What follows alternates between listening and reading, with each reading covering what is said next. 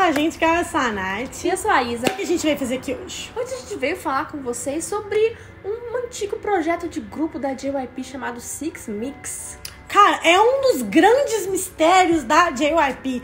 O que diabos aconteceu com o Six Mix, com as integrantes que não debutaram? O que, que aconteceu para esse projeto ter sido engavetado? A gente nem tem de fato todas as informações, mas a gente pincelou algumas coisas e chegamos a certas conclusões. E a gente vai contar para você porque é uma história muito interessante que eu acho que as pessoas não dão tanta importância ou não colocam tanto holofote nisso. Uhum. E é bem legal. E, gente, o que, que era o Six Mix? Então, muito antes do JYP ter a ideia de criar o Sixteen reality show Sixteen que debutou Twice, a ideia era debutar um grupo de seis integrantes chamado Six Mix. E nós temos três integrantes nesse grupo que a gente já conhece quem são, que é a Jonghyun, a Nayeon e a Jihyo.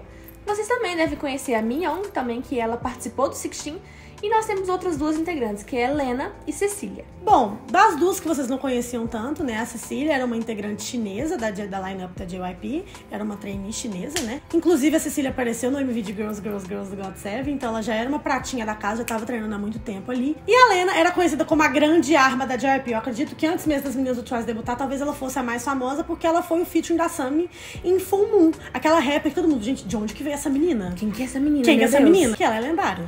E a JYP tava planejando debutar esse grupo desde o início de 2014. Porque a questão é que JYP não debutava um girl group há algum tempo.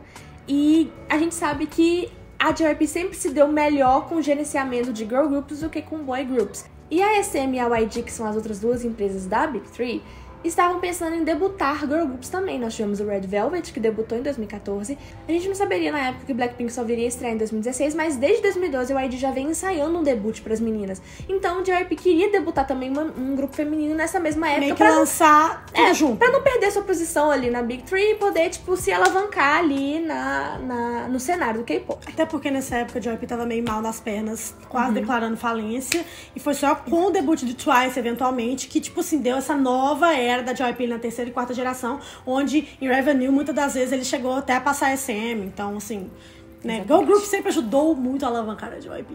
Mas o que, que aconteceu então? Por que, que esse grupo não debutou logo em 2014? Que engavetaram o projeto, né? Uma das razões foi porque houve um desastre com a balsa Seoul lá na Coreia do Sul em abril de 2014.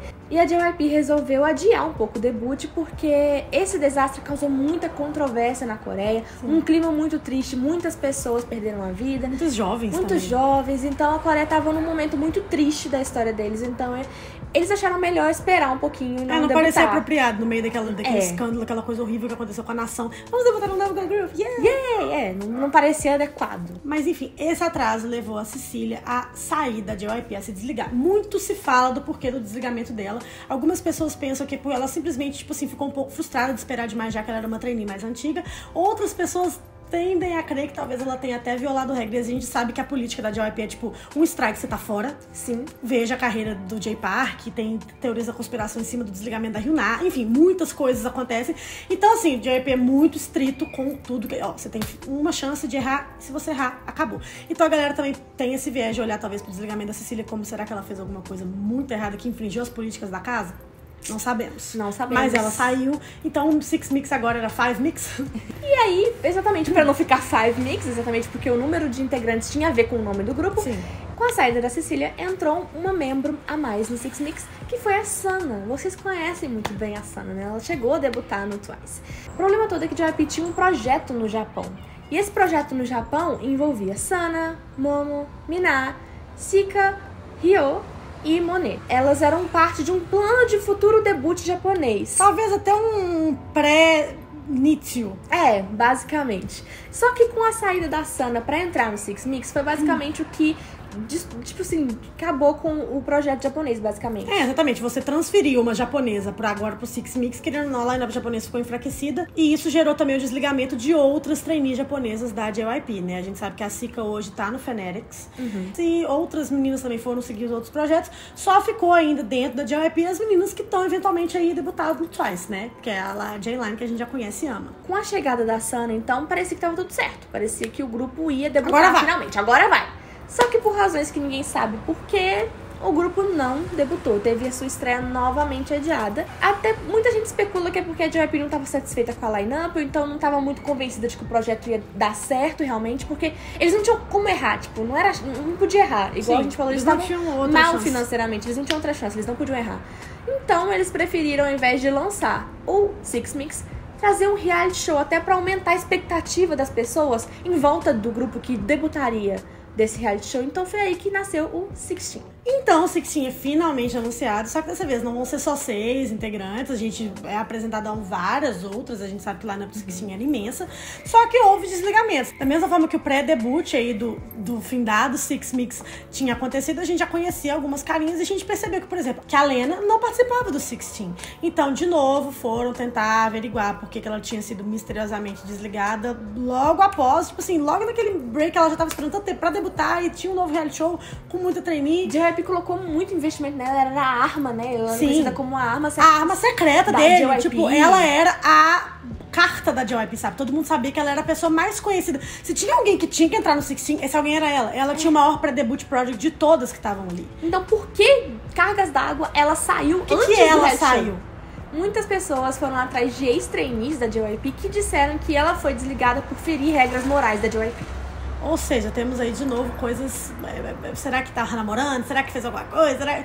Não sabemos. Não sabemos, não sabemos o que é, nada foi confirmado, mas ela foi desligada e ela não estava na lineup do programa Sixteen. O que a gente sabe no final das contas é que a Lena não estava no Sixteen e colocaram a Zoe pra ficar no lugar dela na lineup do programa. No final das contas, a gente sabe que Twice debutou e algumas das meninas que estavam no Six Mix, a Sana, a Jihyo, a Jonghyun e a Nayeon, debutaram no Twice. Mas nós temos algumas meninas que faziam parte da lineup do Six Mix que não debutaram, não chegaram a debutar no Twice. E a gente vai falar um pouquinho de Onde que elas estão agora, né? O que, que aconteceu com as meninas que, tipo assim, eram conhecidas pra entrar do Six Mix e nada deu da carreira delas, né? As trainees perdidas da JYP, geral. É assim que esse povo se refere a elas na internet. Bom, e a primeira que a gente vai falar é a mais famosa das trainees perdidas da JYP, que é a Minhyun, porque ela era da lineup original do Six Mix, ela entrou no Sixteen, é, muito se cotava ela pra entrar, pra ser até uma das futuras líderes do, do Twice, né? Mas ela não debutou no Twice, ela não entrou. E depois do final do reality show 16, ela se desligou da JYP. E hoje ela está simplesmente sumida. Ninguém sabe o que aconteceu. O povo pensa que ela desistiu da carreira de idol mesmo, mas assim, ela não tá nas redes sociais, ninguém encontra notícia dela há muito tempo. Ela é como se fosse tipo a Choa do AOA, assim, que ficou perdida há muitos anos. Ninguém sabe onde Ninguém, ela está. ela é realmente o maior mistério de todos, no, no caso, porque não tem nem indícios do porquê do desligamento. Nada, a gente não É, só sabe tem de nada. suposições. As pessoas especulam do que o que, que ela estaria fazendo agora. Muita gente especula que ela voltou para os Estados Unidos, está Sim. fazendo faculdade, está realmente vivendo tipo, uma vida De uma normal, jovem adulta sem- normal. Exatamente, mas ninguém sabe o que aconteceu É, com ela, onde ela real. está. A única coisa que a gente tem certeza é que ela saiu dos holofotes. Ela- essa carreira de idol talvez não fosse pra ela. A próxima que a gente vai falar é sobre a Lena. Desde que ela saiu da JYP, tiveram poucas atualizações sobre o que ela estaria fazendo. O que se sabe é que ela voltou para os Estados Unidos para tentar perseguir aí a carreira de atuação. Inclusive, ela chegou a ser uma das ganhadoras do Miss Korea USA, que voltou, fez ela voltar um pouquinho pros holofotes pra gente saber o que estava acontecendo com ela. E, inclusive, a gente sabe que ela ainda é muito amiga das meninas do Twice, porque ela tem Instagram e ela já postou várias fotos com as meninas do Twice e até com a Jennie do Blackpink. Sim. Parece que elas são muito amigas Ela também. deve estar ainda nesse circuito de, de, de trainees tal. Velho, essas trainees dessa geração todas se conheciam. Porque é a, é a mesma lifestyle, né? E a Cecília, que é aquela trainee chinesa que foi a primeira a ser desligada do Six Mix antes mesmo do projeto Sixteen ser iniciado, ela voltou pra China, tá investindo muito na carreira dela de atriz por lá, porque já a gente sabe filmes, vários É, a gente sabe que a chineses. China tem um mercado aí pra atores e atrizes gigante, é maior país do mundo, né? Um bilhão de pessoas. Sim.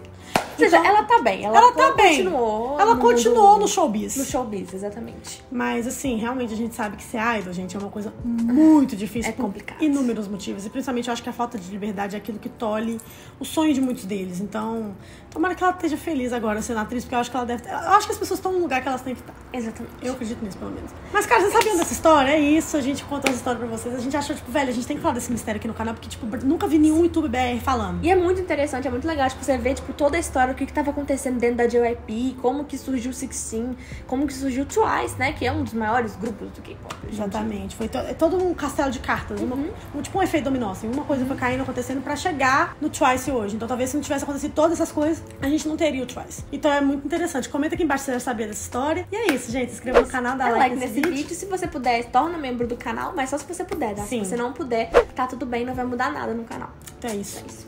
Um beijo. Annyeong!